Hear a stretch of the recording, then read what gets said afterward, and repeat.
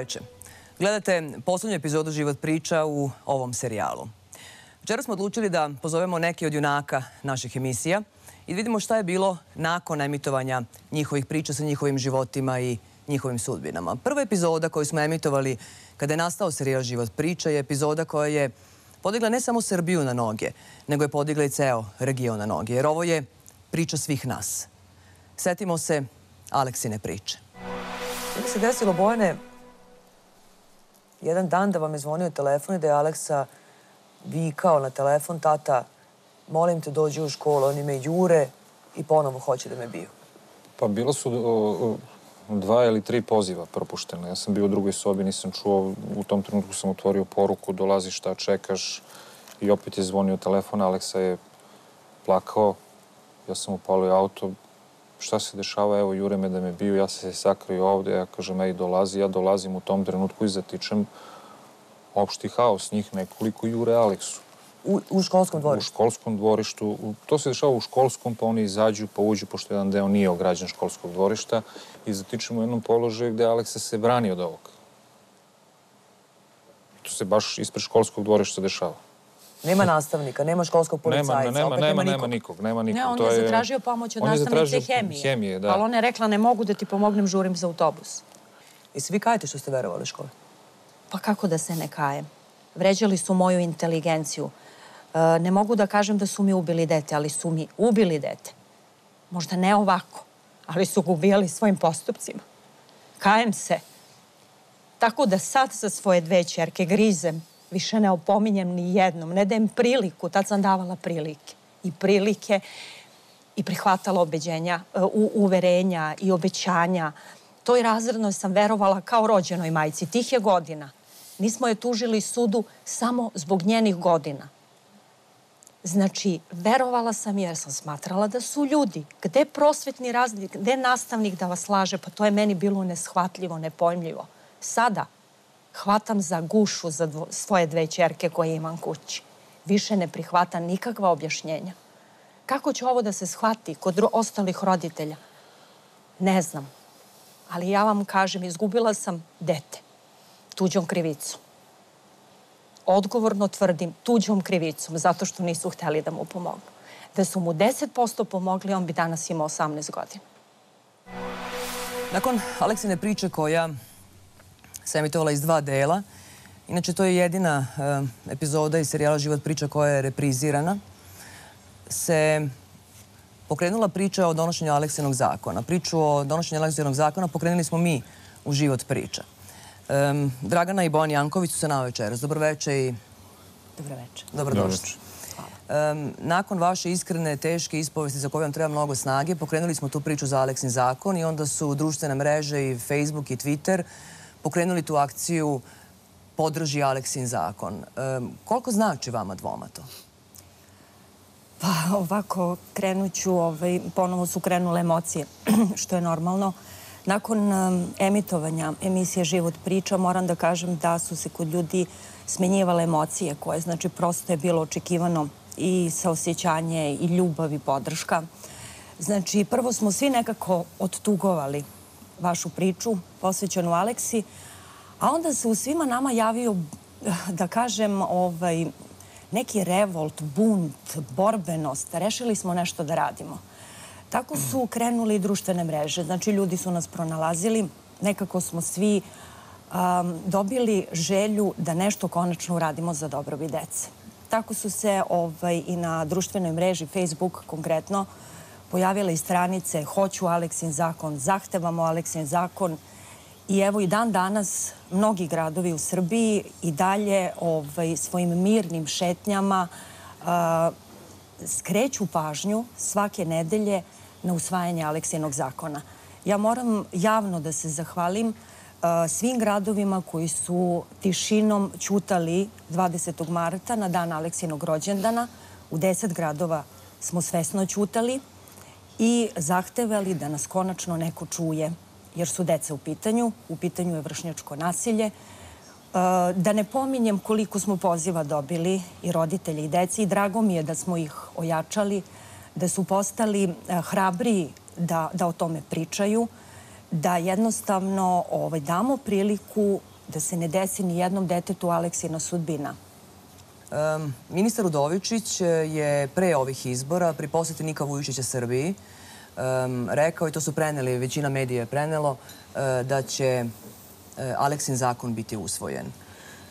Kako ste se vi onda osjećali? Koliko, kako to, koliko vam to znači? Uh, pa znači nam ovaj, puno. To je u suštini e, satisfakcija, ali ne neka lična satisfakcija u smislu da mi možemo da vratimo Aleksu. Mi smo svesni da ne možemo da vratimo, ali e, neka lična satisfakcija je u nama utoliko veća kada nas pozovu neki roditelji koji su nas ranije zvali da imaju problema u, u, školi gde, gde mimo svih nekih institucija i organizacija za, za, za borbu protiv nasilja u školama jednostavno ne, vidu, ne vide rešenje i, i, i pozovu nas. I kada neko vas pozove, vama prepozna ovaj, kao neku trunku spase ili šta da radim ili, ili, nadu, ili, ili nadu. Izvor da, snage. Da. da.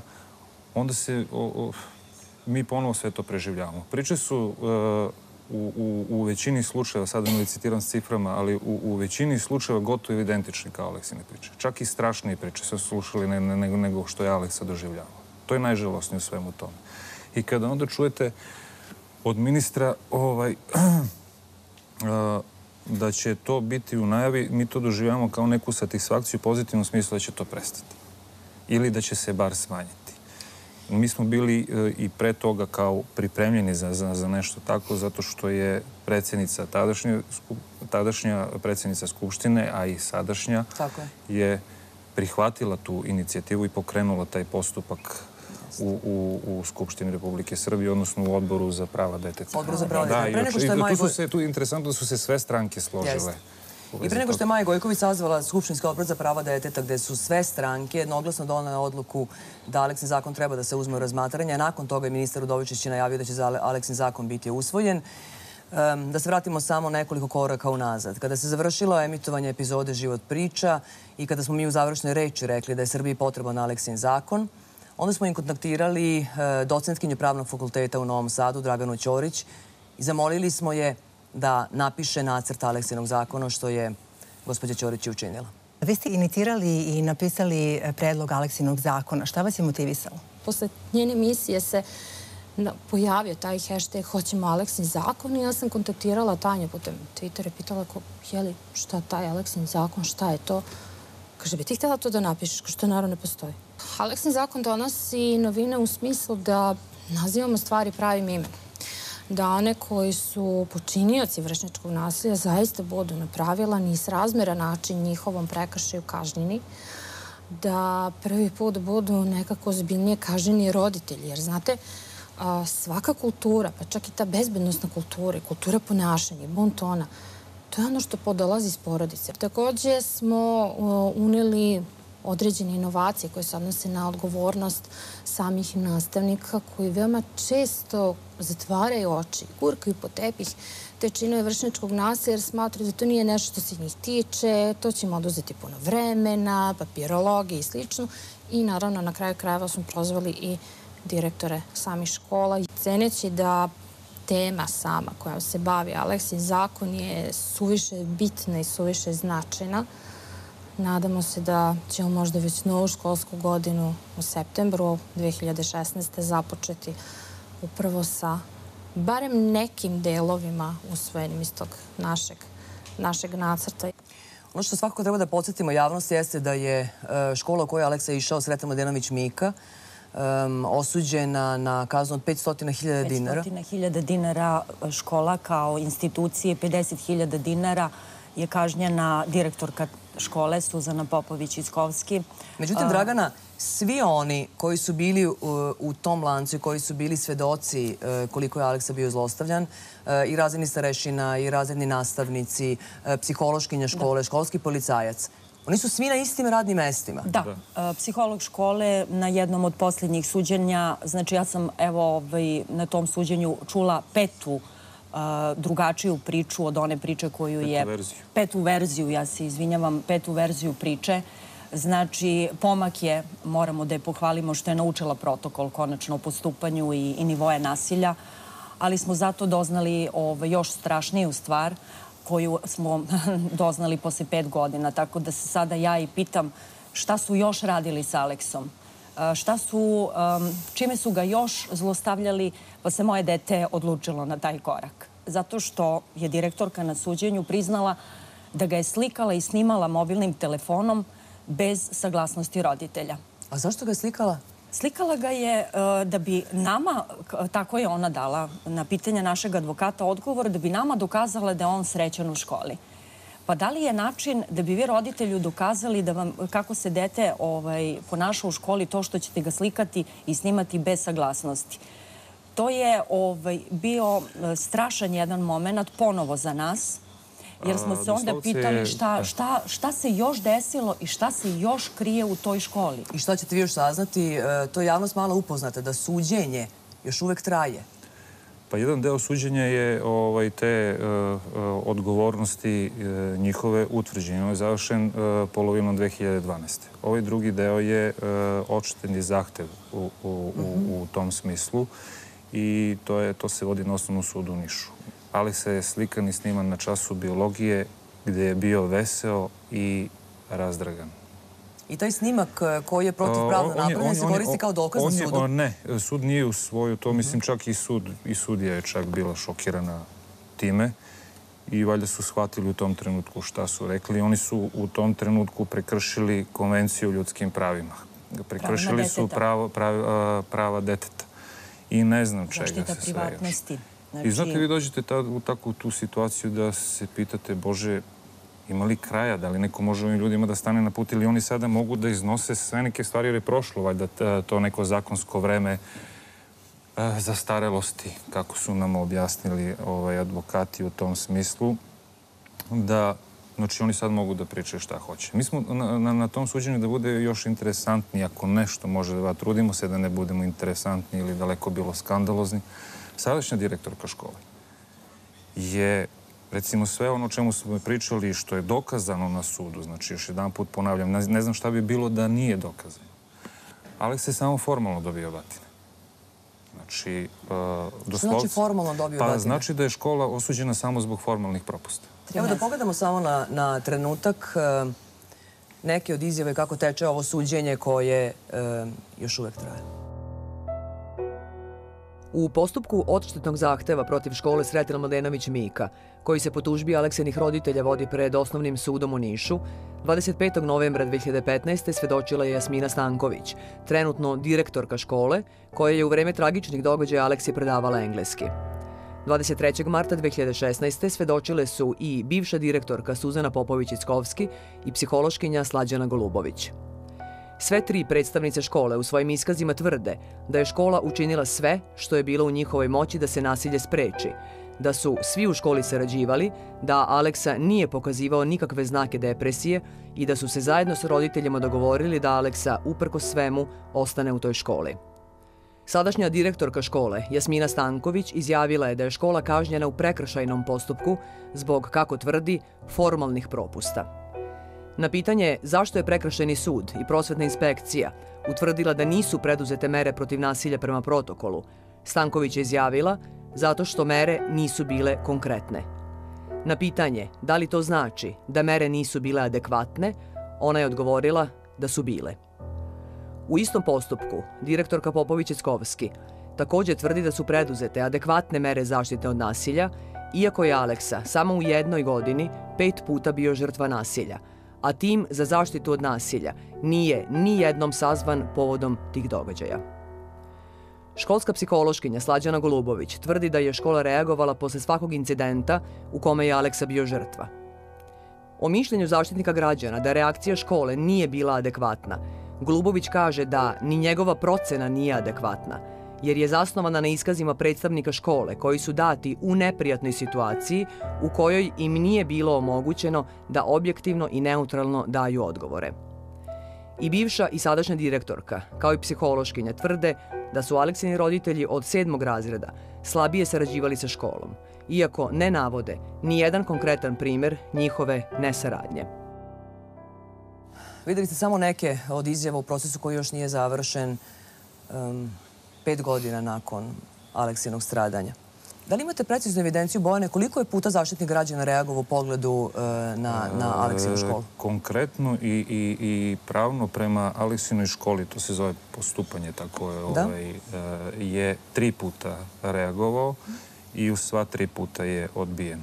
Od tih tri puta, dva puta je odbijen od sadašnje direktorke koja je izjavila za formalne propuste. Inače, ono je odbili prosvetnu inspekciju za smenom tadašnje direktorke. Znači, to može jedna direktorka osnovne škole. Znači, sadašnja direktorka jednostavno odbije preporuku zaštitnika građana tri koja tri puta. Da, i odbije preporuku, pro- ne preporuku, nego nalog prosvetne inspekcije za smenom tadašnje direktorke. Prosvetna inspekcija kaže da traži smenu, Smenu. ona kaže ja, Ona je predsjednik školskog odbora i on je to izglasao i odbio. Meni, ja, e, meni se namiče stvarno jedno pitanje da ja ne mogu da razumem u kojoj zemlji, u kakvoj zemlji mi živimo. Pa, Na sajtu Zaštitnika građana imate podatak gde uh, godišnji izveštaj zaštitnika, zaštitnika građana gde stoji da škola nije postupala, Srete Mladenović Mika, nije postupala po preporukama zaštitnika građana. I nikom ništa. Da. četvrtu godinu za redom. A mi smo se Od, sada e, ponovo nakon uh, ovog saznanja o kome sam vam pričala, uh, snimanja i fotografisanja, obratili zaštitniku građana i obavili smo razgovor sa njim i trenutno sada je opet još jedan postupak kontrole prema školi Srete Mladenović Mika za ovaj prekršaj za koji mi mislimo da je zaista vrlo ozbiljan, bez obzira što Alekse nema. Mi kao roditelji na to imamo pravo. Tako je. Uh, I ja jednostavno želim da dođem do tih snimaka i želim da znam da li je moje dete uh, i na taj način dovedeno u situaciju da li su s njim radili oglede. Ne znam čemu to. Možemo samo da pretpostavljamo, jer, e, mislim, tamo pomislimo da više ništa ne može da nas iznenadi po tom pitanju, a mi se onda opet iznenadimo sa tim nekim novim saznanjima. Tako smo saznali da je psihološkinja škole, da je u suštini više nije ni osam puta dobio batine, nego dva, tri puta se nešto desilo, to je valjda prvi nivo nasilja i to ništa nije strašno. Nevjerojatni je stepen poricanja koji se i dalje... O, ne, ne, ne poricanje. dešava u odnosu na sva- na svu dokumentacije ne koja samo da postoji. je to poricanje, to je e, ismevanje i pravde, pravosnažne sudske presude, znači od 2012. To je ismevanje naše tragedije.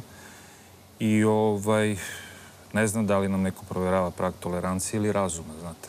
Tako da, kažem vam, imamo i situaciju da psihološkinja daje sebi za pravo da je se sve to dešavalo zato što je Aleksa bio tako nestašan i nevaspitan, pa se prebacuje lopta porodici i tako te neke stvari. Tako da, mislim, više ništa. Izjave su im zaista skandalozne. Mislim, zaista jedno Vrlo provokativne i tragediji, kao- i bolu i gubitku deteta. Mislim, ja ne tražim od njih izvinjenje. Nikada ga ne bi ni prihvatila. Nema izvinjenja za, za, za dete. Imam podatak da onaj dan, da, i dan danas zaista čini takve prekršaje, jer su mi se roditelji obraćali. Ja se ne ponosim time, ali mi je drago. Ja sam rekla svako jedno dete koje porodica Janković spasi u ime tog anđela, on je sada nakon vaše emisije prozvan anđelom, bio je simbol otpora, sada je anđeo. Ne zato što je moje dete. Ako mi spasimo jednog anđela, to je kao da smo Aleksi dali još jednu godinu da živi. Hvala vam lepo što ste ponovo došli. Ja sam duboko uverena da je vaša tragedija tragedija cele Srbije i em, tragedija svih nas. To vama em, neće vratiti dete i ne znam koliko može da vam pruži utehu, no nama su se javili brojni roditelji koji su zahvalili vama na snazi koju ste smogli da ispričate ovu priču, e, jer su kroz vašu priču shvatili kome trebaju da se žale, jer lju- ljudi lju- lutaju od vrata do vrata i ne znaju kome treba da se Nisu žale. upućeni, nema ko da ih uputi. Tako Jednostavno je. neko i ne želi da ih uputi jer to treba da ostane ispod tepiha koji je baš narasao na, na, na, jedan veliki nivo i u suštini, znate zbog čega da vam se zahvaljujete, to je u neku ruku bila, kažem vam, naša obaveza koja je i tu inicijativu za Aleksin zakon uh, prerasla. Zato što mislim da smo svi mi u toj priči bar malo podigli svest, a jesmo o tom ja se problemu. iskreno nadam da smo u tome uspeli. Hvala vam. Hvala vam. I e, nadam se eto zajedno sa vama da će Da, ovaj, se reći mi ćemo- ministra Udovičića obistiniti Mi da će ćemo zakon biti usvojen. nastaviti našu borbu. Ja javno obećavam svim roditeljima i kada nekada dođem u situaciju da želim da se osamim i da tugujem i kažem dosta neću više, oni kažu ne, moramo dalje, deca su u pitanju, ja zaista obećavam da ćemo mi dati sve od sebe, što je do nas, što je u našoj moći. Moram da napomenem da je a, i ona krenula sa radom i fondacijom Mahir i Aleksa, Tako. koja će biti još, da kažemo, jedan naš roditeljski mehanizam skretanja pažnje na, na problem vršnjačkog nasilja. Ja ovog puta pozivam a, one koji nam jednostavno i usvajaju zakone, i predlažu zakone, da zaista uradimo nešto za našu decu, jer problem je zaista veliki. Hvala vam na snazi koju imate. Hvala i vama.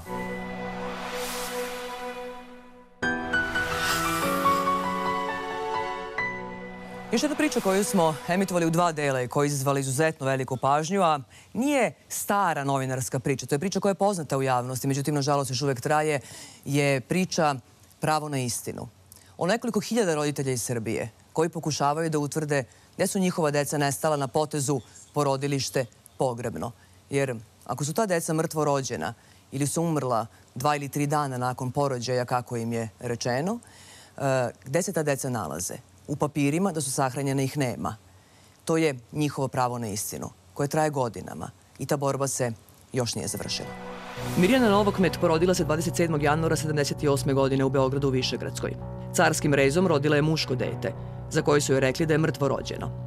Mirjana se porodila u 10 sati i 20 minuta uveče. Na obdukcionom nalazu piše da je obdukcija urađena istog dana kada se porodila, što znači da je obdukcija urađena sat i po nakon porođaja, negde oko ponoći tog dana.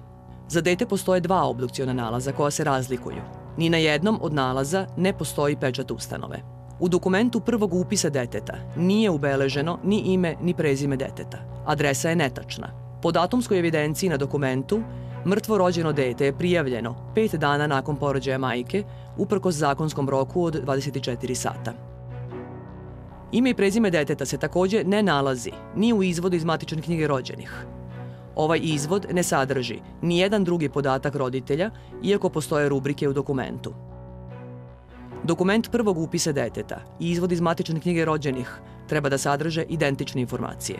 U ovom slučaju to nije tako.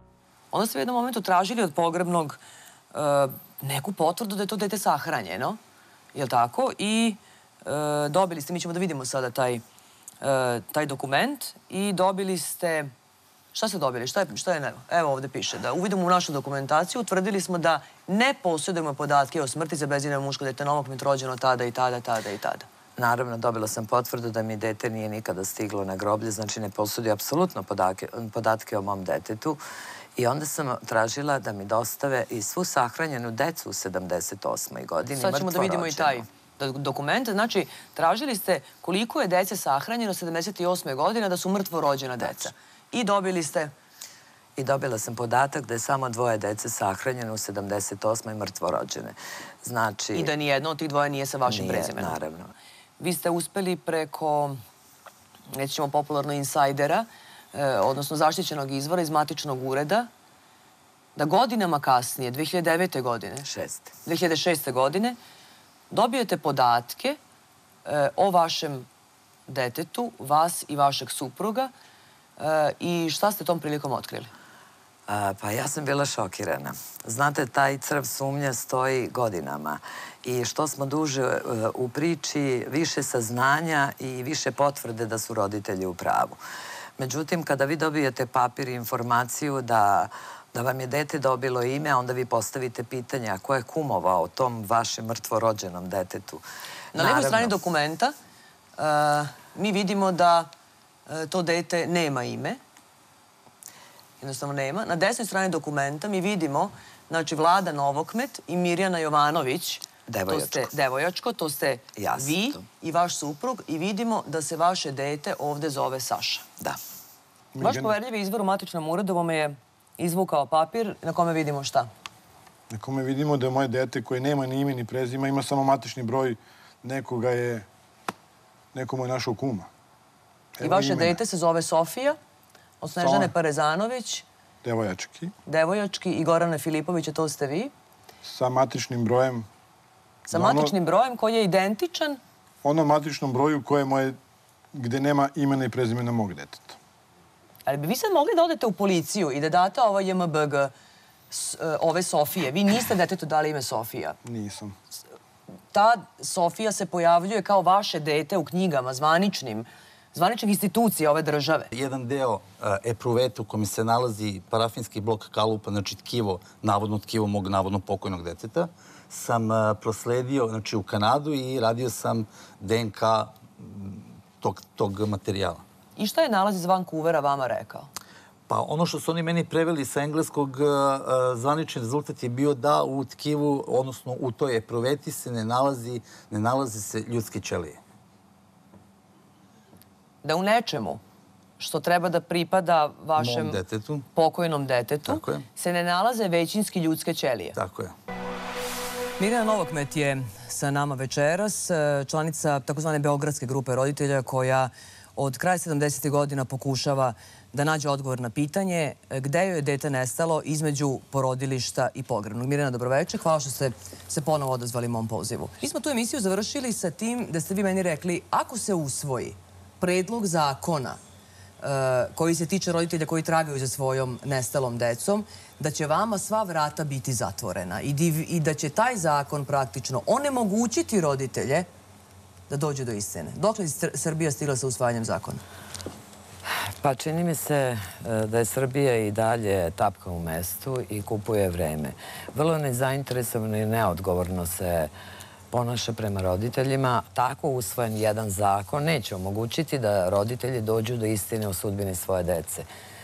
Međutim, e, kada se vi pojavite kao roditelji, kao ta oštećena strana na tim sastancima, onda shvatite koliko se u stvari manipuliše sa nama, e, jer svi članovi radne grupe, zajedno sa predsednicom, nas ubeđuju da je to najbolje nešto u ustavnom sistemu što je moglo da se uradi, da je taj nacrt zakona idealan za nas, to je da ne postoji idealno, ali da je on najbolji za nas. Kažete Mirina jednu stvar, da li dobro razumem? Ako se taj zakon usvoji, suštinski, država neće sprovoditi istragu u odnosu na e, najblaže rečeno čudnu dokumentaciju, neće izvojiti država neki dokazni postupak, nego će taj zakon da roditelje tera u parnični postupak pa da vi dokazujete kroz parnicu. Tačno.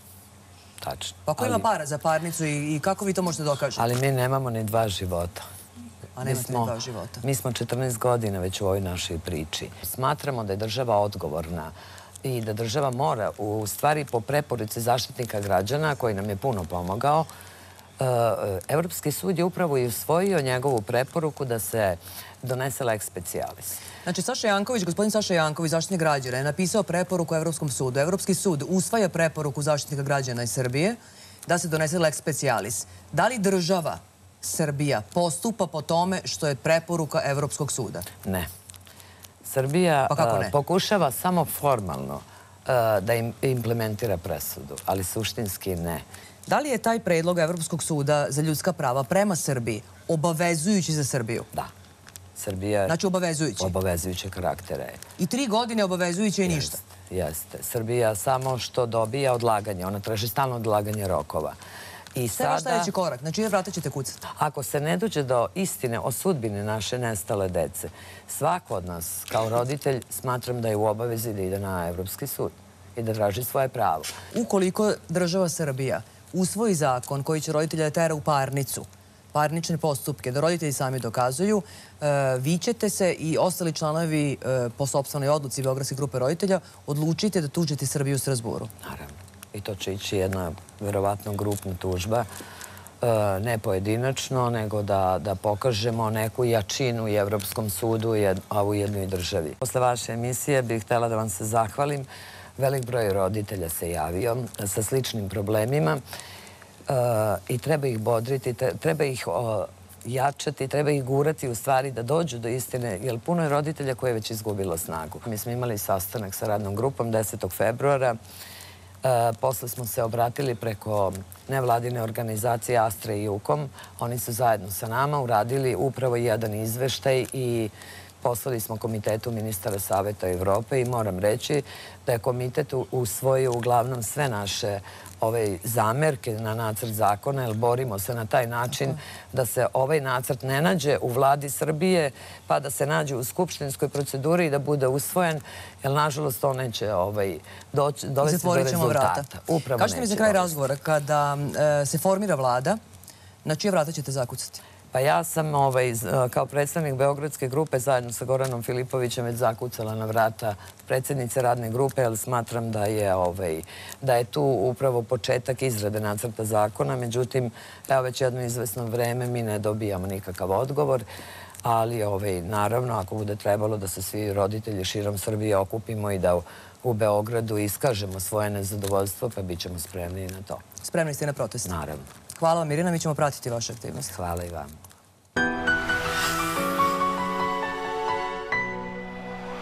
Još jedna epizoda koju smo emitovali u dva dela i koja je izazvala izuzetno burne reakcije. Opet nismo prvi koji smo obradili tu temu. Zvala se Bože sačuvaj i se kloni. Pogledat ćemo insert koji ne preporučujem mlađima od 18 godina. Poštovani oče Nikola, moj život više nije moj život. Od onog dana kada si me odveo onom krvniku u doboj i kada mi je ta pijena zvijer učinila veliko zlo, od koga se nikada neće oporaviti. Moj život je uništen. O tome dosta znate i vi, ali i naša braća po mukama, otac Bratislav i otac Stefan. Otac Bratislav me je više puta kolima vozio u doboj i svjedokom je mojih suza i duševnih muka kada bi se vraćao u papraću. Neka Bog oprosti moje duši, ali ja moram ubiti vladiku Kačavendu, da i druge monahe oslobodim muka. Kada čuješ tu vijest, više ni mene neće biti među živima. Praštajte. 16. marta 99. Blažanović Milić. Ja sam sedeo na kožnom kauču pored njega.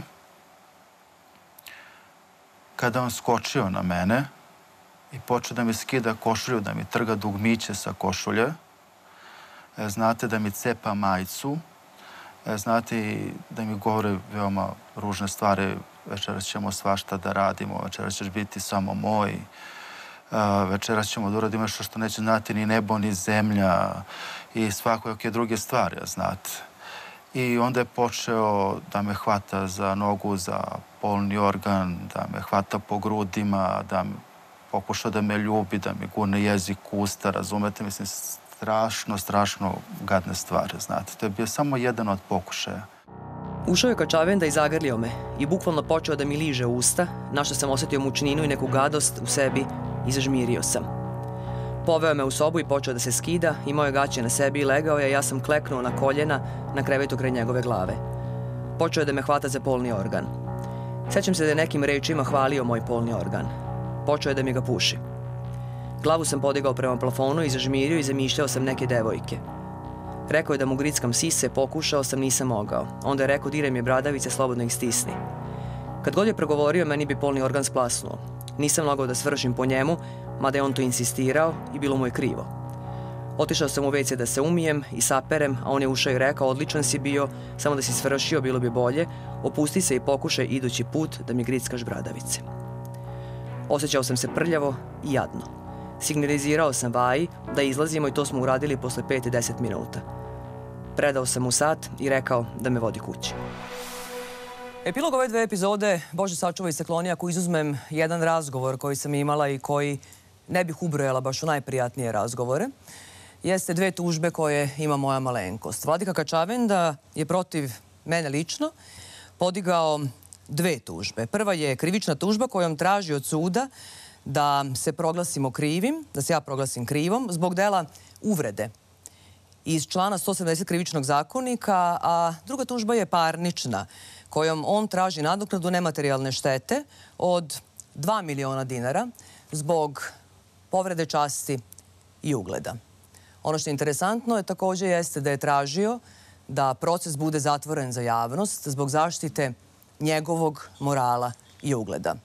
Advokat Agatonović, koji me zastupa u ovom slučaju, govori o tome. A što se tiče krivične tužbe, naravno, konačnu reč, konačnu odluku će o tome dati sud. A, ja sam mišljenja da je ona u potpunosti neosnovana, jer a, više puta sam imao prilike da pogledam gotovo dvosatnu emisiju, da pažljivo pregledam i zaista ni u jednom trenutku nisam čuo da je Tatjana Vojtehovski izgovorila jednu uvredljivu reč na račun privatnog tužioca. A zašto mislite da posle svih iznetih činjenica u emisiji tužilaštvo nije podnelo tužbu protiv vladike Kačavende, već je Nišan okrenulo na novinare koji su izveštavali na osnovu svedoka i dokaza? Pre podizanja optužnice e, protiv vladike Kačavende tužilaštvo mora da sprovede jednu, jednu vrlo ozbiljnu vrlo ozbiljnu istragu. Potrebno je da se neko od političara, čija reč ima težinu uh, u javnosti, da se pojavi na televiziji, da bude upitan o tom problemu, da on na neki način da signal i već siguran sam da bi već sledećeg dana imali tužilačku istragu. Bilo je prvo ročište. Šta se na njemu dogodilo? Iako je uredno pozvan na to ročište, a nekih, ja mislim, meseci po dana pre samog datuma održavanja ročišta, Kačavenda se nije pojavio na, na sudu, iako je njegovo prisustvo po zakonu obavezno, a svoj izostanak nije, nije blagovremeno, nije uopšte opravdao. Formalno pravno time je a, prvostepeni postupak završen, Kačavenda je izgubio prvostepeni postupak iz procesnih razloga. Drugostepenu odluku nisam dobio, znači nije doneta, Dve su mogućnosti sada. Prva mogućnost jeste da Viši sud u Beogradu potvrdi prvostepenu odluku, čime se smatra da je prvostepeni postupak, odnosno da je ovaj krivični postupak pravnosnažno okončan. Druga mogućnost koju mi priželjkujemo, zaista, jeste da sud ukine odluku i da vrati na suđenje, odnosno da se suđenje ponovi, odnosno da se prvi put praktično sudi, ali se nadamo da bi u tom postupku, da ćemo u tom postupku imati prilike na sudu da, i da vidimo Vladiku Kačavendu a, i da čujemo njegove argumente i nadam se u postupku otvorenom za javnost, jer ne bi bilo, ne postoje drugi zakonski razlozi da bi se javnost isključila sa ovog suđenja. Nismo mi na televiziji prva jedini tuženi. Kao što nismo jedina ekipa koja je pričala, pisala i izveštavala o ovakvim slučajevima. Nedugo ili odmah posle emisije Bože se kloni i sačuvaj, e, NIN je takođe pokrenuo veliku priču koja se tiče lika i dela vladike Vasilije Kačavende. U to ime tužen je i odgovorni urednik NINA. Nikola Tomić govori za život priča. Bio sam prilično iznenađen tužbom, a opet sa druge strane, s obzirom na mm, moral, etiku i poštenje koje je gospodin Kačavenda iskazivao prethodnih godina, pa i nije za. Gospodin Kačavenda je tražio da suđenje ne bude otvoreno za javnost radi zaštite morala i ugleda ličnosti učesnika u postupku, to jest njegovog sobstvenog. Po meni da su njegov moral i ugled ličnosti zaista neupitni, njemu bi bilo u interesu da sve bude otvoreno za javnost. Dakle, gospodin Kačavenda očigledno ima problem sa istinom i ne želi da javnost ima uvida u nju. Na njegovom mestu, s obzirom na ono zašto se sumnjiči da je radio i s obzirom da je i kažnjen u okviru crkve, mada očigledno vrlo, vrlo blago, neki bi rekli da je čak i nagrađen, da mene neko optužuje za tako nešto i da sam tako nešto radio u životu kao što on radio, možda bih i ja tražio zaštitu. Država očigledno ima problem sa procesuiranjem slučajeva koji dolaze iz crkve. Ja delimično mogu da shvatim obazrivost države, s obzirom da je crkva uticajna organizacija, da su mnogi građani Srbije pravoslavni vernici. Dakle, za obazrivost bih imao razumevanje, ali za nepostupanje nemam, jer to je osnova vladavine prava. Svako poigravanje sa vladavinom prava, a što smo mogli da vidimo ovih dana u Srbiji na nekim drugim slučajevima, poput Sava Male, na primer, vodi, vodi, vodi zemlju u haos. U prošlom serijalu emitovali smo Lukinu priču. Priču o momku koga je na Brankovom mostu zgazio i tom prilikom usmrtio misteriozni countryman. Tu priču smogao je snage da ispriča njegov otac Bojan Jovanović.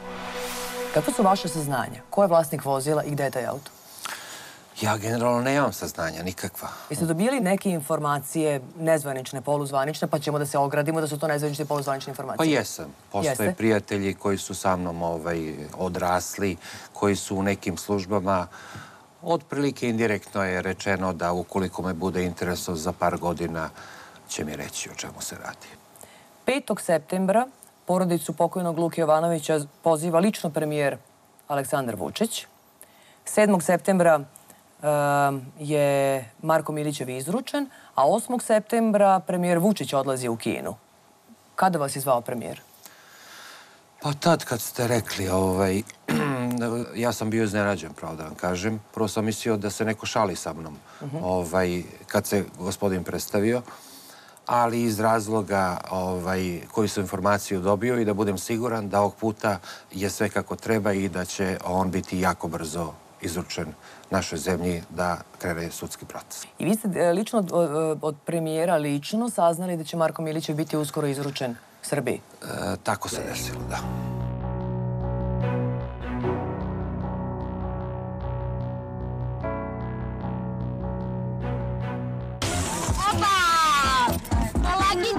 Polakice! Sve u redu. Sve okej, sve okej. Ajmo, polako. Polako.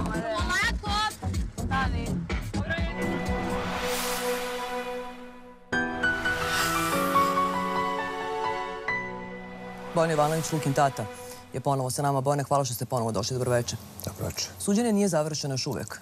Šta se čeka? Sad je to na apelacijnom sudu. Ja sam bio 31. ja mislim da je bilo. Ovaj, prisutuo tom prvom delu koji je za javnost. E, uložili su žarbe i tužioc i njegovi advokati. Dobro. E, advokati njegovi traže da se oslobodi zbog nepravilnog dovođenja u Srbiju, to jest da nije izvršena ekstradicija. A Čekajte, tužilac- Bojane, stanite samo malo. Znači, mi smo inače pozvali advokata Marka Milićeva, e, ponudili smo da daju izjavu za, za ovu večerašnju emisiju. Oni su rekli da do, do okončanja apelacijone odluke neće e, da se oglašavaju, što mi poštujemo, to je njihovo pravo. Znači, hoćete mi kažete da e, odbrana Marka Milićeva traži za njega oslobađajuću presudu, zato što ekstradicija nije urađena iz Kine u Srbiju kako treba da bude urađena. Tako je. U slučaju se to dokaže, hoće li Marko Milićev biti slobodan? Pa po pravilu bi trebalo da bude tako. Da li na tom suđenju se postavlja pitanje gde je countryman i čiji je countryman? Pa sve manje. Da budem iskren, vi izgleda to samo još mene interesuje, svi drugi nekako peru ruke od toga. Verujte da, ne znam koliko je to vama uteha i koliko vam to znači, interesuje građane Srbije. Um, vrlo, jako mnogo ljudi je nas pitalo posle emisije i pitaju nas e, onako indirektno i direktno da li imamo neke informacije čiji je countryman. Ljudi neće da žive u zemlji u kojoj e, na očigled ne funkcionišu zakon ili, se, ili na očigled pravda i pravo ne važe za nas sve jednako. Jel imate neke informacije gde je to vozilo, da li se zna, jeste dobili neke poprečne informacije? Moram tako da vas pitam. Pa ja posle toga nisam imao informacije niti od SUPA, niti od bilo koga od zvaničnih organa. Da budem iskren, nisam ni odlazio ovo, jer vidim da, vidim, video sam otprilike gde to vodi. E, skoro sam imao prilike da u hotelu In slučajno sretnem našeg ministra ovaj, Stefanovića. On je bio u društvu sa Aleksandr, ovim e, Sa?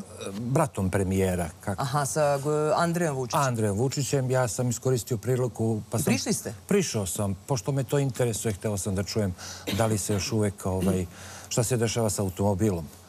Odgovoreno mi je da on najverovatnije korišćen u te kriminalne svrhe i da je verovatno isečen. Dalje nisam pitao, poželao sam sve najbolje i otišao.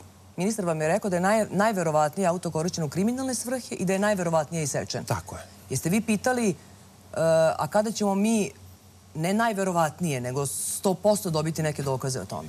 Pa ja nisam pitao, da budem iskren. Niste pitali. Nisam. I se nadate vi da lično će se to ikada otkriti? Samo slučajno. Ili ako interes pređe preko toga. Ili ako slučajnost pređe u nameru? Pa i to. Kada očekujete odluku apelacijonog suda? Pa ja tu ne znam. Koji je rok, šta, ovaj, stvarno ne znam.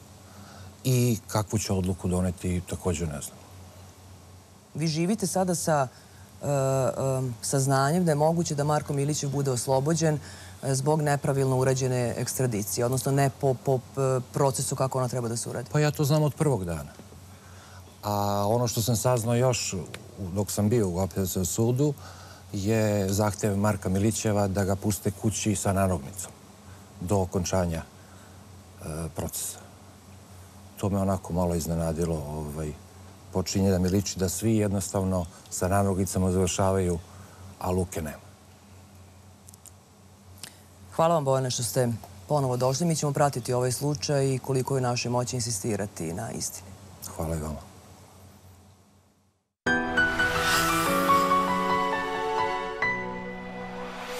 Klinci su danas spremni na razne stvari da bi možda postali internet zvezde. E sad, Nenad Pavlović niti je klinac, niti je hteo da postane internet zvezda. Ali došao u žižu javnosti tako što je snimio sebe i pitao javno Srbiju, državu, državne organe, da li neko može da mu pomogne. A onda mu je premijer Vučić odgovorio na Twitteru. A mi smo snimili priču Imali leka za Srbiju. Pozdrav svima, moje ime je Nenad Pavlović, imam 16 godina. Živim na Novom Beogradu. Bolim od jedne izuzetno redke bolesti krvi pod nazivom paroksimalna noćna hemoglobinurija ili skraćeno PNH. Diagnostikovan je početkom prošle godine i od tada se borimo za jedini dostupni lek u svijetu. Sa redkom bolešću ide i redko skup lek koji redko ko može da priušti. Meni, meni nije cilj da ja otvorim žiro račun i u nadi da će ljudi prikupljati novac, jer to rešenje nije permanentno. Meni je potrebna dostupnost leku do kraja života. Tokom prošle godine kontaktirani su svi nadležni i naravno, ali do dana današnjeg sve je prepleteno i srž je ista. Nema novčanih sredstava. Zato želim da pitam državni vrh da li je to istina, da li nema novca za moje lečenje i hoće li iko preduzeti nešto. Jer kao državljanin Srbije i po zdravstvenim osiguranjem smatram da, da je korektno da se lečimo ovde. Eto, u jednom momentu si ti e, napisao mail RFZO. Da, napisao sam mail. RFZO. Kako si ti znao kome treba da pišeš mail? Ko ne bi znao posle toliko slanja kome treba da se obrati. Mhm. Napisao sam mail, Šta si im napisao? Pa napisao sam ko sam i šta sam, od čega bolujem i zašto mi nema leka. I stigao mi je odgovor u roku od par dana, kako se sećam. Ja sam mislio neće mi ni odgovoriti, ali zapravo odgovorili su i rekli su da lek nije registrovan, niti je podnošen zahtev za njegovu registraciju. To, I da se stavlja na, ne sjećam se šta je bilo, da se stavlja na teret da se, zdravstvenog osiguranja. Mhm, Nešto tako. Znači nešto poput ovih odgovora koje smo mi čuli, da nije registrovan, da, nije... da. Ista priča. Ista ta priča, je li tako? Em, jeste se vi, Miroslava i Verka, jest, od svih tih prepisivanja sa, sa institucijama, sa, pa nije na listi, nije registrovan, može ovako, ne može ovako, sve, jeste se umorili od toga? Poprilično, da. Znači, voliš kompjutere? Volim. Dobro, i šta je to neki, neki koji bi to bio fakultet? Šta želiš da upišeš? Comtrade. I tako nam jedno 16-godišnje dete pokazalo kako treba da se bori protiv e, domaćih institucija i procedura. Inače, jedna mala zanimljivost za ovu emisiju koju ću vam sada otkriti. Mi kada smo tražili izjavu od čelnika RFZO i Ministarstva zdravlja, onda su nas odbili. E, Međutim, dan pred snimanje, negde oko pola 11 uveče, su se predomislili i onda smo ipak dobili te, te izjave koje su bile dosta čudne. Tako možemo da ih okarakterišemo. Nenad Pavlović je sa nama. Nenade. Dobro. Zdravo i dobrodošao. Mi jedni druge u prolazu pitamo zdravo kako si, to pitamo kako si, a ni ne interesuje nas u stvari baš nešto kako je neko. Kako si, Nenade? Odlično. Jesi primio terapiju? Primio sam prvu terapiju 28. marta i od tada nemam bolove. Mart, april, maj, jun. Bravo. Super. Dobro. E sad ti si u emisiji ovaj, otkrio nekoliko stvari o sebi. Jedna od stvari koje si otkrio jeste da gluvariš po nove beogradskim blokovima. Jedna od stvari koje si otkrio drugo jeste da obožavaš Šabana Šaulića. A treća od stvari koju si otkrio jeste da bi ti volao da studiraš neke kompjutere, neki IT sektor, nešto, nešto. To si rekao u emisiji Informatiku, je li tako? Da, I šta se desilo posle emisije? Pa već, ovaj, ja sam u emisiji pomenuo da bih hteo da, da idem na više studije Comtrade-a, međutim par dana nakon snimanja već su me zvali iz Comtrade-a i zakazali sastanak. Ja sam došao tamo i dočekali su mene i mog tatu i, i stipendiran sam tu u višu školu, tako da ovaj, posle srednje škole nastoje ta informacijone tehnologije. I sad ti imaš za dve godine do završetka srednje škole i već znaš na koji ćeš fakultet. Tako je. Dobio si stipendiju. Da. Bravo. Jel jedeš krat- kratinu ili i dalje izbjegavaš da jedeš meso, pošto mama Verka se strašno nervirala što neće da jedeš meso? Ovaj dan danas se nervira. Jedno, ovaj, bili smo na nekom slavlju i onda sam, kad me je ponovo bilo pečenje, i ona me terala da jedem, terala da jedem, ja sam ustao i otišao. Tako Ne, da, i dalje ne jedeš ne, meso? ne, jedem, ne volim pečenje. Koliko ti se život promenio od kad si dobio terapiju? Poprilično. Šta to znači? Baš nabolje, ono, vozim biciklu bar 30 km dnevno čak. Stvarno? Ovaj, od Ade, okolo Ade, pa do Dorćola, svukud vozim. Tako da volim da vozim biciklu i provodim i ne umaram se od toga i za divno čudo za razliku od prošlog vremena kada, kada sam se umarao znatno vozeći biciklu, sada toga nema. Tako da, I ništa te ne boli? Ništa me ne boli. Sa onih koliko lekova smanjio sam samo na jedan za jetru. To još treba se stabilizuje i ovaj, super sam. Ali mama može da sastavi san čitave noći ili dalje spava iz prekida? Uf, može. može, mnogo je lakše i nema više toliko brige. Ja joj kažem, opusti se malo, sve je prošlo, nema potrebe više da toliko dramite oko svega, jer ono, baš nije puno da jednom u dve nedelje odem na tu terapiju. Meni je skroz okej. I to je sat vremena, dva sata što ispremam. Mnogo sporo prolazi vreme i nema tih bolova i sve je mnogo bolje. Kaži mi za kraj razgovora u prošloj emisiji si mi rekao, kad sam te pitala da li imaš devojku, ti si rekao vidjet ćemo, pošto si ti nameračio da ti ona bude devojka, ali ne znam da li je ona to znala u tom E, momentu. znala je, znala je. Znala je. Šta se desilo tu? Pa bili smo zajedno. I već ste raskinuli. Pa, znate kako, daljina je u pitanju Znam. tu, tako da... I ono, ne može. Ljubomora i daljina i Ljubomora i deljina ne idu zajedno. ne idu zajedno. Ehm, dobro, sad si slobodan, jel? Slobodan. Slobodan, dobro, to da devojčice, da. Dobro, reci mi za kraj, e, ja sam te prošli put pitala da li ćeš se za 10 godina kandidovati za predsjednika Srbije. Si razmislio o mom predlogu? Uf, ne znam, ne, ne bih, ne bih ja o tome. Da Se izjašnjavao ovako, jel? Ne, Mhm. ne bi bio predsjednik. Ima tu ipak previše posla. Ja bih se držao mog računara i Znači, bit ćeš kompjuteraš koji voli Šabana Šaulića. Pa ja sam je. zadivljena. puno ti hvala što si ponovo došao. Hvala vama što ste me E, pozvali. I pozdravi mamu i tatu i brata puno i obavesti nas kako si. hvala vam.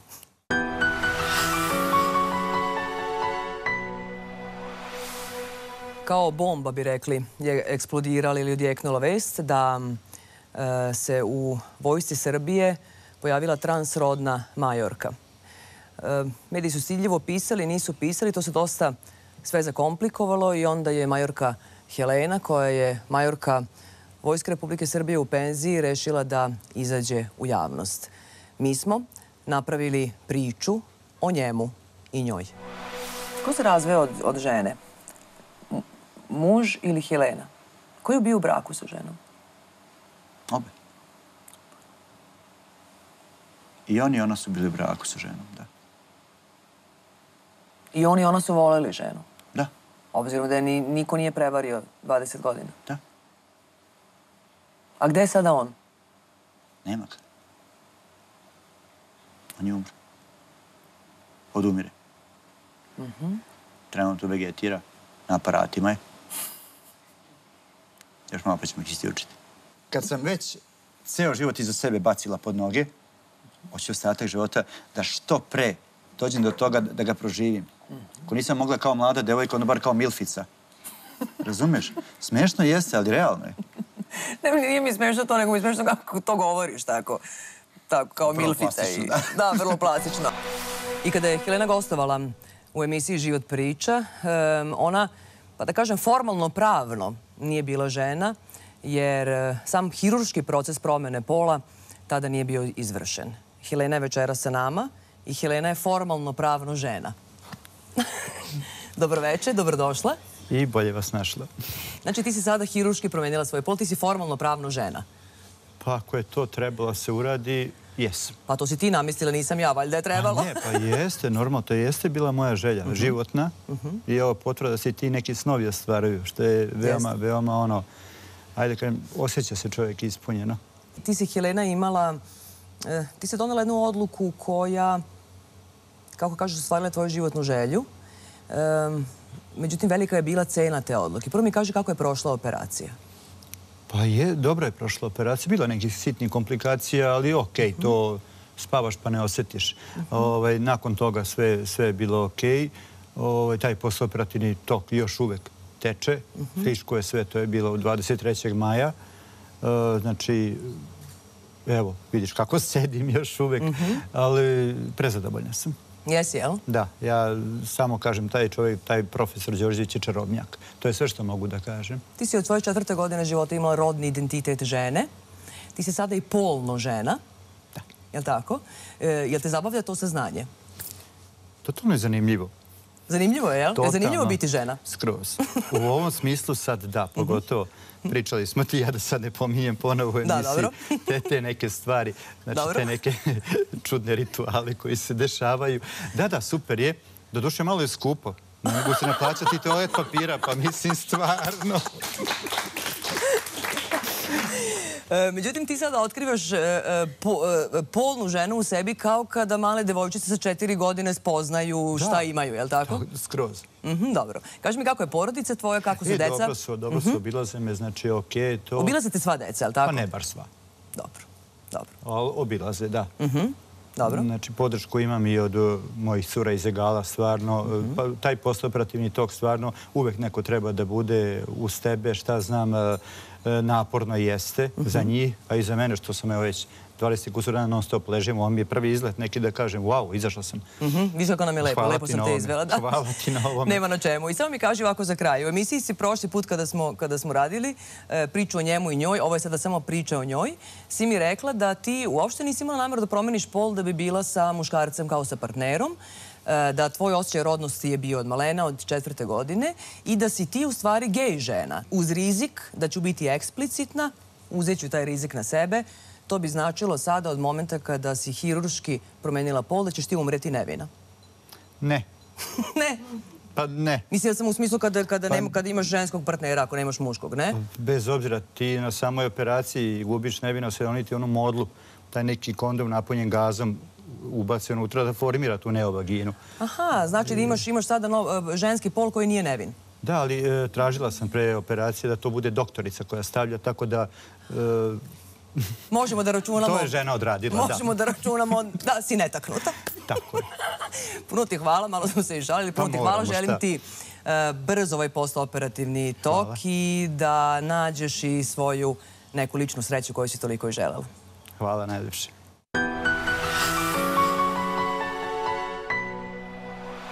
Još jedan slučaj koji više od decenije čeka na svoj epilog i koji izuzetno intrigira i interesuje javno Srbije je slučaj poginuli gardista u vojnom objektu Karaš u Topčideru. Mi smo snimili dve epizode o tome i pogledajte inserti iz epizode Ostav državu. Tadašnji ministar odbrane e, nije znao za vojni objekat koji je vojna tajna, ali smo također saznali da je za vojnu tajnu znala Karla Del Ponte, a ministar odbrane nije znao. Em, saznali smo da je Ratko Mladić upućuje na Branka Krgu, da Branko Krga upućuje na pukovnika Radomira Ćosića, koji je u tom momentu bio komandant gardijske brigade i em, Olgica Batić kaže da će tražiti i da pukovnik Ćosić bude saslušan. Em, pukovnik Ćosić u tom momentu je komandant gardijske brigade, vaši sinovi su gardisti. Em, koji je vaš prvi kontakt sa pukovnikom Ćosićem? Šta vam on kaže? Počeli smo da razgovaramo šta se desilo. On počeo da priča i odjednom sve što ga pitaš, on, on ne zna. I nikakav odgovor ne dobijete? Nismo dobili nikakav odgovor. kako su nam predali, mi smo to prihvatili kao porodica, ne znajući puno ni u politiku, ni u reči sa kojima se vojska služila, što nam je posle tek došlo do zaključka se, jer smo imali dosta susreta i dojava i telefonski i poziva i priča raznih za Milovanovića, Milovanoviću priče za Jakoljevića, to sve od strane vojske. Znajući kako je tadašnji istražni sudija radio Vuk Tufetić. Sad dolazili kod nas u vojni odsek i išli u školu gde je išao i išli u, kod doktora da vidi da li boluje od nečega. Čak i mene kontrolisali da li sam bio na bolovanju, da li sam zdrav. Slali, Vojska. Vojska slala, Tufetić je poslao socijalnu službu da dođe kod nas da ne ispita. Da ispita okolnosti u Da. kojima ste vi živeli. Što je Da. to bilo važno? I došle one i žena pita, kaže, Veli, imate vi neki papir kad ste došli ovde? Kaže, imamo, dao nam Tufečić i potpis Tufečića. Da ispita me, međuljudske odnose u Da, porodici. kako je, šta? A što je to bilo važno? Šta znam, išli svud redom i da tra, nađu grešku. Išli u Niš gde je regrutovan. Znači, tražili grešku, dali su deca čitava da bi sva- svalili grešku na njih. Znači, sve, svime i svačeme se, pa čak i pravili da, da su bili nastrani e, gejevi. Znači, razne priče su oni izmišljali. U Jakovljević je pucano sa e, razdaljene više od pola metra. Kako je onda Jakovljević mogao da izvrši samoubistvo? Nije tačno da je puška bila udaljena toliko od e, tela vojnika. Ali to je pisalo u balističkom izveštaju, vojnom. Pogledajte. Imate problem ovaj, zato što se samo vama ne veruje. Zašto čovek na samrti kaže iznutra, pa ne Jakovljević? A što nije rekao i koga je ubio onda? Ja Vojna lica prete članovima državne komisije, imate tako lepe čerke. Da, da, da, da, da. Šta je veštačio ubijanje?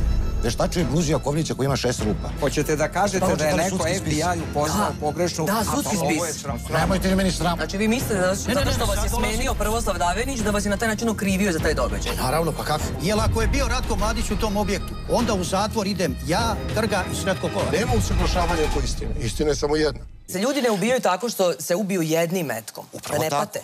Upravo tako, ali imate ljudi koji su ubijaju na različite načine. Japanci su se ubijali mačem u stomak.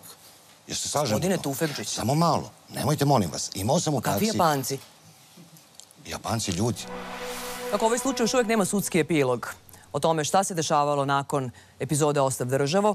Za emisiju Život priča govori Predrag Savić, pravni zastupnik porodice poginulog gardiste Jakovljevića.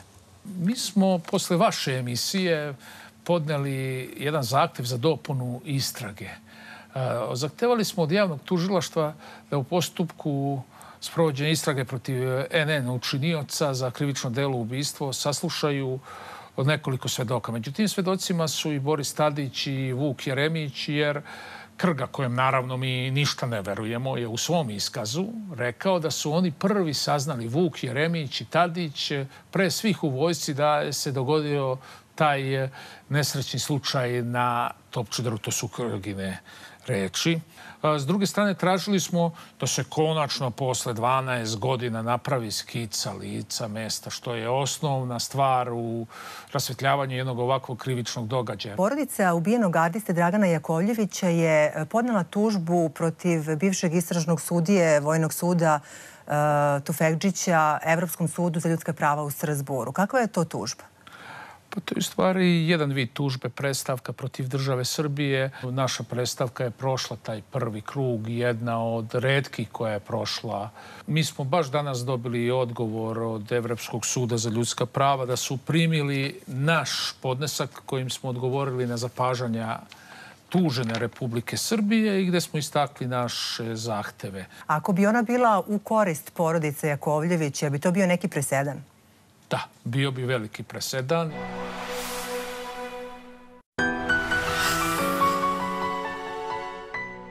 Početkom avgusta prošle godine je Slavici Burmazović iz Beograda njen nevenčani suprug Ejup Sabri Junđu oteo troje maloletne dece, dve čerke od 11 i 10 godina i sina od 4 godine bez njene saglasnosti odveo u Tursku. Tu počinje majčina borba da decu vrati nazad. Slučaj je za emisiju Život priča, a i inače od strane Ministarstva inostranih poslova Republike Srbije zvanično proglašen otmicom, međunarodnom otmicom, odnosno kidnapovanjem. Slučaj Slavice Burmazović je počeo avgusta meseca kada se desilo to kidnapovanje, to je otmica dece, da budemo precizni. Suština cijele stvari je da je e, pravna procedura započeta na osnovu Haške konvencije o građansko-pravnim aspektima otmice dece. Znači, i Turska i Srbija su potpisnici te konvencije i jednostavno tu je pravni osnov, a suština te konvencije je da se ubrza postupak vraćanja dece koji su na određene načine otete od roditelja. I znači sud donosi privremenu meru da su deca poveravaju vama na staranje i nalaže da se ovo rešenje uruči njemu i da on odmah vama vrati decu. Jeste. E sad, e, ovo je doneto, rekli smo, oktobra meseca. 13. oktobra, 13. oktobra. Za to vreme on je u Srbiji. On je sve vreme u Srbiji. Pa što mu nisu dali ovo rešenje? A, pa mora zvanično da primi, pošto a, nije imao adekvatnu, znači sudija je to slala dva puta, vratilo se sa adresa gde je bio prijavljen, jer nikad nije davao stvarno adresu gde se nalazi. Uh, on je znao da, da za to samo je odbio da primi. Mislim, eskivirao i uspeo da eskivira do januara meseca. Po mom saznanju, on je to rešenje primio. Ovaj, ima, znači, saznanje od toga. Sad, ovaj, kako ide dalje procedura, ne znam, ali pretpostavljam da bi trebalo da mu izdaju poternicu na osnovu toga. Ja ne mogu da shvatim kako se ovo dešava moje dete. Ako sam ja kriva za sve moje greške, ja ću da ispaštam. E, ali ne mogu da shvatim kako možemo da dozvolimo mi kao narod, mi kao država jedna, da troje male dece pate. Neko ih je otrgao iz mesta gde su odrasli, su imali drugarice, ceo razreda, Ajšin, Esmin, nastavnice, odnosno učiteljice, non stop pisma podrške, zovu me telefonom. Recite šta treba, ići ćemo ispred turske ambasade da, da ovaj, miting pravimo, da se deca vrate, ali ja ne vidim svrhu. Ne razumem kako svi zatvaraju oči pred patnjom dece. Na dan emitovanja ove emisije, Svo troje dece se u, na Turskom sudu u Mersinu izjasnilo da žele da ide u Srbiju i da žive sa majkom. I dalje ostaje nepoznanica. Kako je došlo do toga da se deca, čiji je slučaj proglašen zvanično otmicom, odnosno kidnapovanjem, izjašnjavaju gde žele da žive i sa kim žele da žive. Tokom trajanja emisije, odnosno tokom emitovanja emisije, na moj Twitter nalog, čovek koji je odveo decu u Tursku, oteo, Ejup Sabri Junđu, mi je poslao tweet koji glasi Samo smejem. Nakon toga je nastavio da mi šalje poruke razne sadržine i to je radio i ljudima koji mene prate. Nedugo posle emitovanja ove emisije, u domaćim medijima su se pojavili natpisi Deca se vraćaju kući. Uznemirena majka Slavica Burmazović je nazvala redakciju Život priča i pitala nas da li mi nešto znamo o tome. Njena deca se još uvek nalaze u Turskoj i nisu vraćena. Mi smo Slavicu pozvali da večeras gostuje u ovoj emisiji. Međutim, ona, kako mi je rekla, je bukvalno prestravljena od straha. Nekoliko puta je prećeno smrću, direktnim porukama koje su čak ostavljene i na njena vrata i koje glase mrtva si. Sve te poruke ona je prijavljivala policiji. Znači, deca se još uvek nalaze u Turskoj, a i majka je zaglavljena između institucija Srbije, između institucija Turske. I ponavlja rečenicu, pošto je redakcija Život priča sa njom u kontaktu, ja nemam nikog da mi pomogne, ja imam samo Srbiju da mi pomogne. Naša pouzdana informacija kaže da se deca u Turskoj nalaze u vrlo lošem stanju. Da su pregladnela, zapuštena higijenski i da imaju, pogotovo mlađi sin, najmlađi sin Tarik, da imaju vidljive tragove fizičkog nasilja.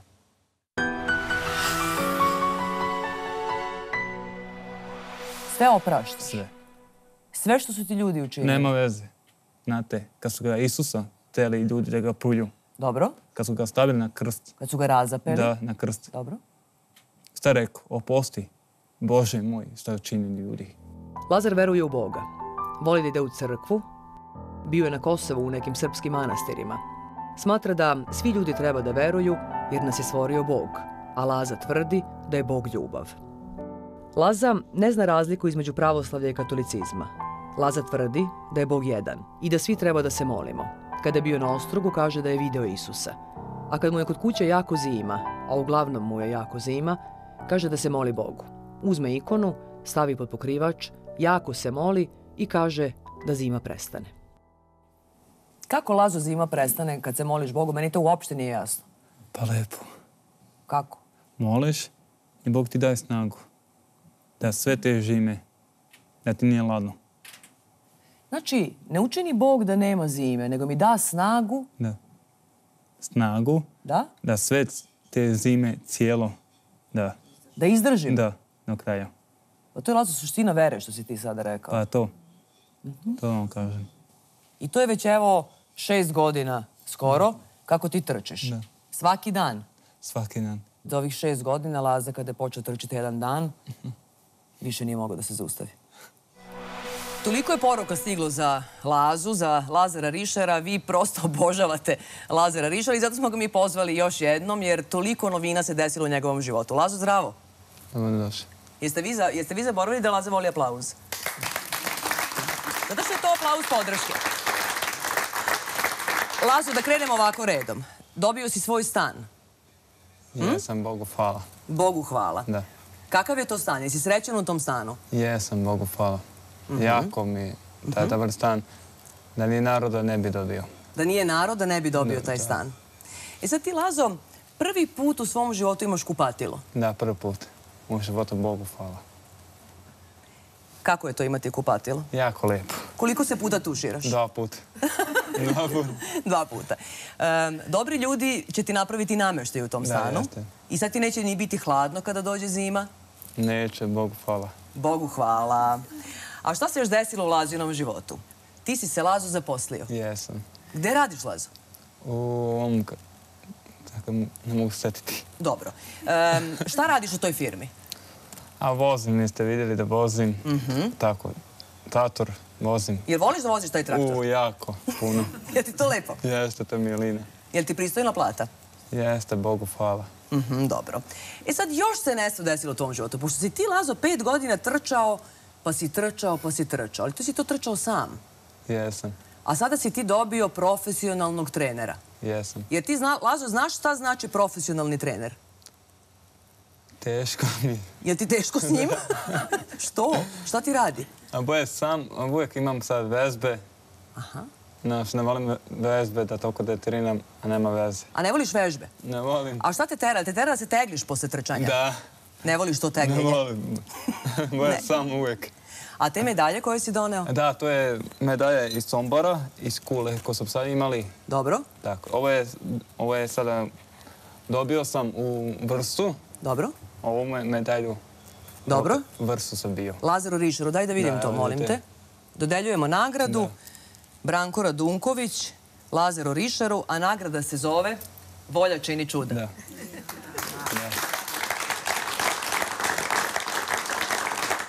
Čestitam ti, Lazo. Ovu knjigu sam dobio isto. I dobio si tu knjigu, je li Da, tako? na Vrsu. E, sad ću da te propitam i si naučio da čitaš. Teško. Pa kako sad? Pa, jesmo se dogovorili da naučiš da čitaš? Jesam, išao sam u školu. Dobro. I pozao sam kad, sam po, počeo da, ide, da radim, onda sam prestao da idem u školu. Maštora. Aha, presto ideš u Da. školu. Vidi, Lazo, da ti ja kažem jednu stvar. Nije nužno da se ide u školu, a da se nauči da se čita. Jeste, to se pravo. Znam ja da sam ja u pravu. Dakle, ćeš ti naučiti da čitaš. Volio bi. Voleo bi? Da. Dobro. Laza, inače da vam pokažem, da se pohvalim, meni doneo poklon. Da. Prošli put mi je doneo... Prošli put je meni Laza doneo krst i jednu ikonicu sa Ostroga, odakle si mi ovo Lazo doneo? A to je Vrsa. Jedna malestina gdje je ma- majka Angelina mi je gostila i to je mi dala za vas. Majka Angelina je dala Da, za mene? Da. Stvarno za da, mene? za vas. Vas su sve pozivno vr, Vrse, gdje sam bio na goste, gdje sam dobio nagradu. Puno ti hvala, Lazo. Kaži mi, molim te, za kraj ovog razgovora, imaš devojku? A, kako kažem, imam, a to je jedna tajna. Hoću da pozdravim tu devojku od srca jako, to je ova, kako ime, Kako se ona zove? Zvezdana. Zvezdana? Zvezdana. Mhm. Tako. Dobro. I lepa Zvezdana. Bogu hvala jeste. A je li Zvezdana zna da je ona tebi devojka? Mislim, je li to... A da, re, vas sam, rekao sam. Rekao si joj, Da, jel? rekao sam. To tako. Dobro. Lazo, gdje ćeš da trčiš sada? A sad se pripremam u Beograd. U Beogradu? Za dve nedelje idem u Beograd. Mhm. Na maraton. Dobro.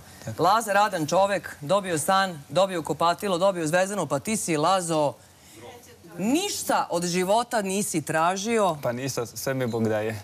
a sve ti Bog daje. Pa, hvala, hvala ljudima, jako srce.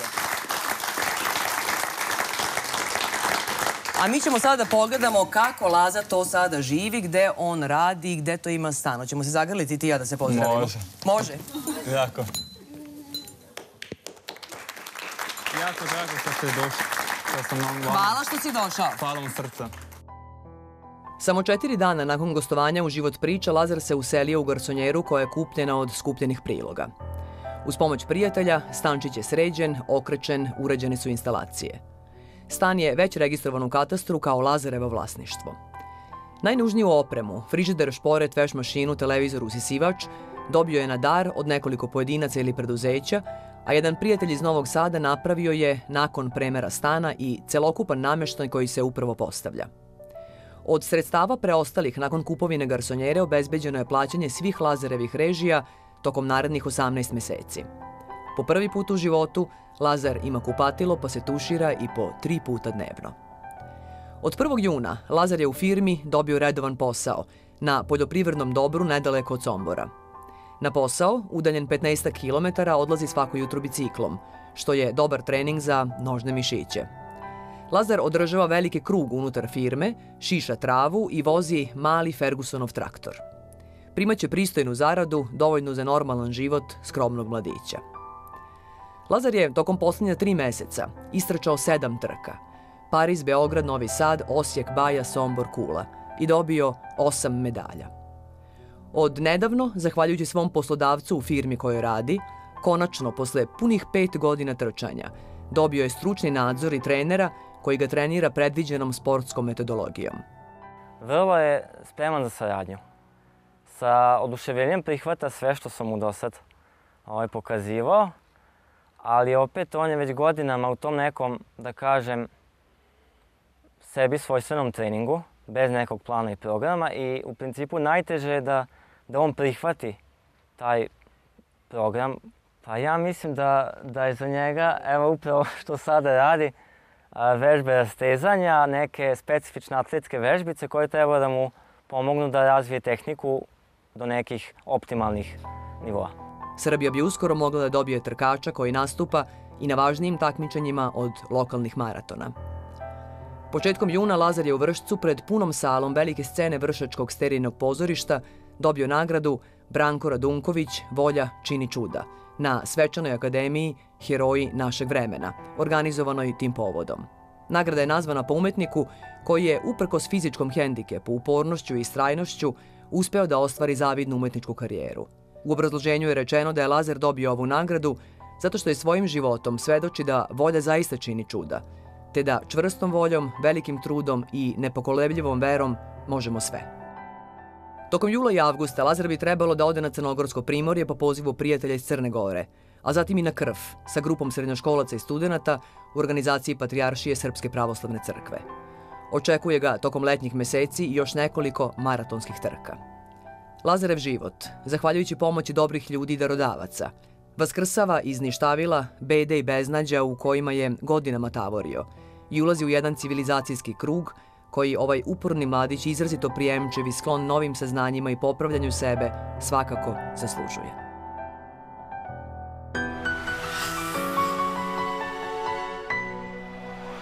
I dve epizode, a malo je, smo posvetili i borcima sa košara.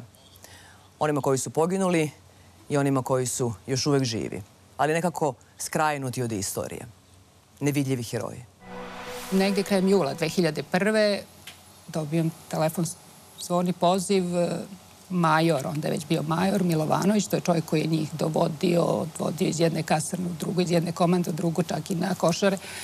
Kao predstavlja se, znate, ovaj, vaš sin je odlikovan, e, I onako, mislim, baš mi je bilo od sve muke smešno. Pa rekao, čekajte, to je bilo pre, on je pre tri godine, koliko godina ima, vi, ste, vi se sad javljate. I onda njegov odgovor je bio, pa znate, to je potpisao Slobodan Milošević, pa nismo znali da li ćete da primite. Pa rekao, što me niste pitali, a u ostalom sve vreme ste me ubeđivali, kako ste sve njih poslali dole odlukom tog istog Slobodana Miloševića. Pa znate, ovaj, znate šta da ja vama kažem, ja zaista taj orden ovaj, u komandi Niškog korpusa i uopšte u komandi bilo koje vojske, onda e, nema čoveka iz, čijih ruku bi ja mogla da primim taj orden. Orden mogu da uzmem samo sa groba mog sina i od nikoga više. Još uvek Lozanka niste izgubili nadu da će se podići spomenik e, borcima sa košara? Pa ne, ja nisam izgubila nadu za ovo. Jer ja verujem da će mi gospod dati snage i zdravlja i života do, da to ostvarim, jer inače ne bi mi usadio tu neku ideju o tome. Jednostavno, a zašto, ne za mog sina, nego za sve za košare, ti vojnici, ti borci su u, u Srbiji baš onako zapostavljeni, nekako skrajnuti ne samo od države, nego i od samih veterana. Možda zato što se veterani ne nalaze u tim pričama. Ne znam, zaista i to je greh, a o njima bukvalno niko ništa. Zašto je to tako? Šta mislite? Zbog čega ova država je skrajnula ove, ove heroje sa košara? Pa zato što su oni bili, da kažem, svoje glavi, pa su usporno nastojali da odbrane Srbiju i košare. Oni su bili svesni koliko je njih bilo, znali su, a videli su koliko odozdo iz Albanije nadire. U tom trenutku sam ja primetio da sa okolnih brda ovaj, silaze i stado, da kažem, ovaj, šiptara, kao, kao ovce. Znači, ono, u stadu su silazili sa okolnih brda, da je to bilo neverovatno koliko ih je bilo. Ja bih te molila da mi sada ispričaš doslovce kako je išao razgovor sa majorom Đurkovićem. Šta si razgovarao s njim, šta si ti njemu rekao, šta je on tebi rekao nakon eto, i tvog eh, pokušaja da se vratiš na košera, digneš u vazduh i kada su košere pale, um, kada si ti shvatio da ste vi sami, kada nije bilo naše, naše podrške u artiljeriji, šta si mu rekao i šta je on tebi rekao? Pa nije to bila neka ogromna priča, to je bilo razmijenjeno samo par rečenica između nas dvojice. Kad sam ja došao, kažem, tu je bio i Drecun i sve to, o, ja sam uh, tu raportirao, malte ne, ovaj, uh, majoru Đurkoviću da je Karaulu košar, košar je napalo preko hiljada i po terorista. Na što mi je on nonšalantno odgovorio, ma šta ti vodniče kao znaš, ovaj, koliko vas je napalo, kaže, napala vas je šačica šiptara, vi ste pobili kao p***.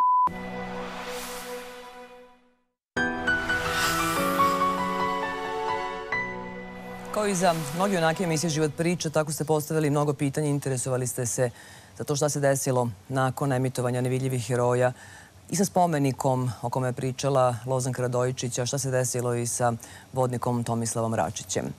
Ja ću vam pročitati ono što je Tomislav Račić napisao za ovu večeras emisiju šta se dešavalo posle.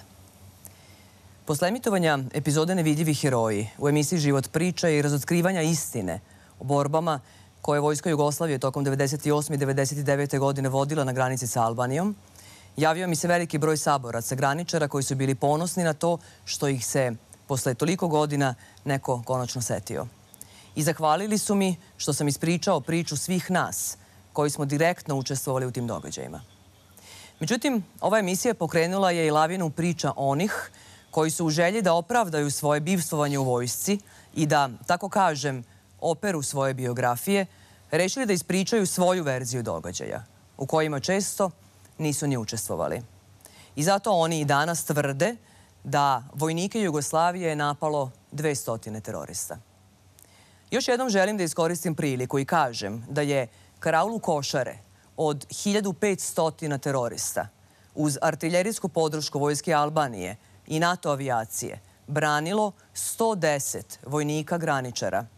Svakome je jasno da tako mali broj vojnika u rejonu Karaule, uprkos herojskoj borbi, nije imao šanse da zadrži položaj.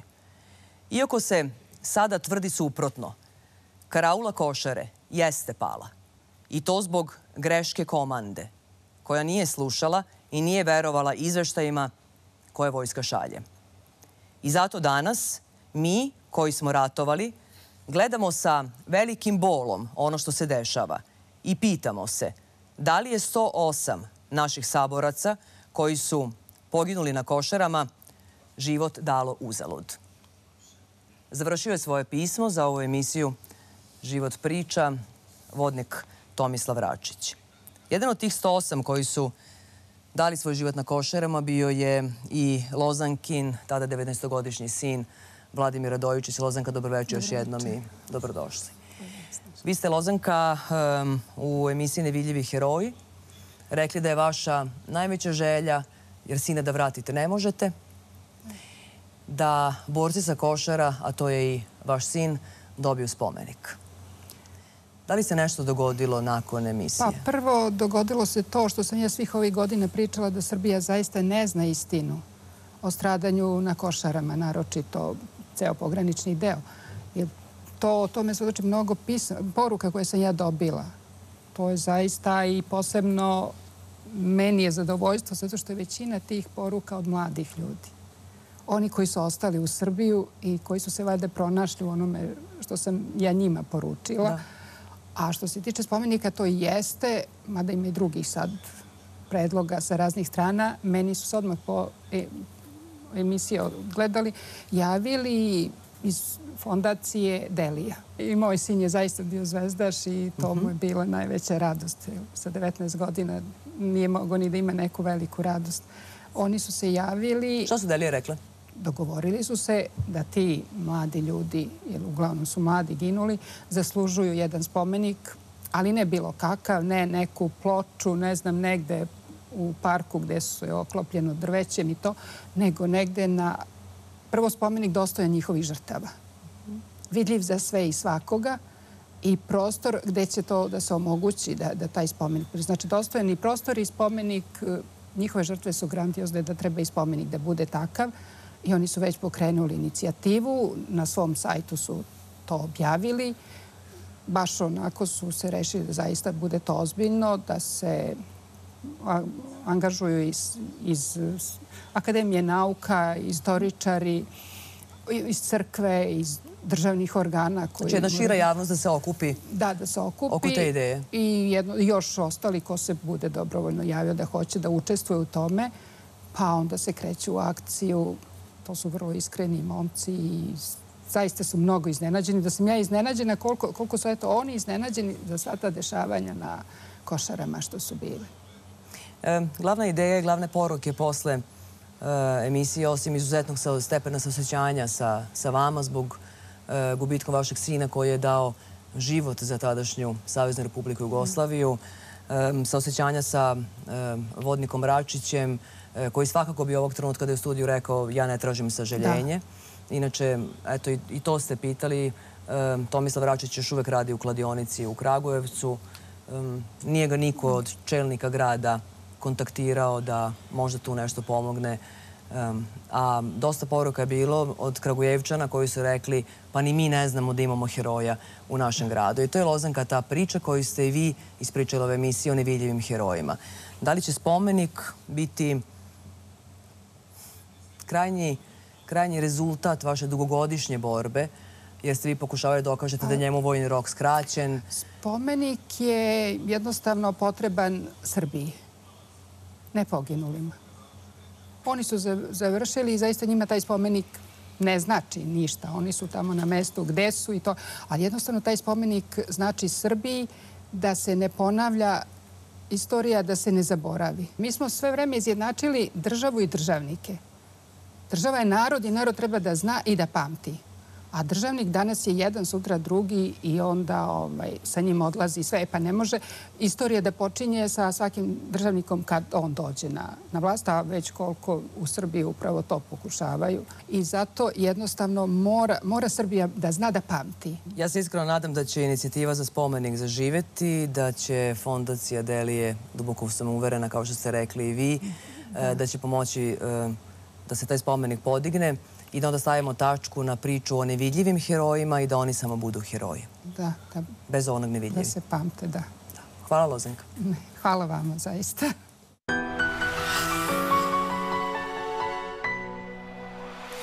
Bila je ovo poslednja epizoda serijala Život priča u ovom serijalu. Mi ćemo ponovo da se vidimo negde od kraja septembra meseca i videli ste jedan presek, toliko ljudi, sudbina, neverovatnih i emocija, i iskrenost, i istine, i težine i sve smo to mi zajedno preživljavali sa, sa junacima naših priča. I pokušali smo da neke stvari promenimo. Pokušavamo da utičemo na neke stvari onoliko koliko je snaga medija uopšte. Ja ne bih trebala da stojim na ovoj sceni sama, jer bih onda bila super žena, a to svakako nisam, tako da hvala svima vama iza kamera ekipi koja stvara ovu emisiju Život priča i koja duboko veruje u to, pa i onda kada nam je teško ili kada nam se neka vrata zatvaraju. Hvala i vama. Život priča ponovo od septembra na televiziju prvo.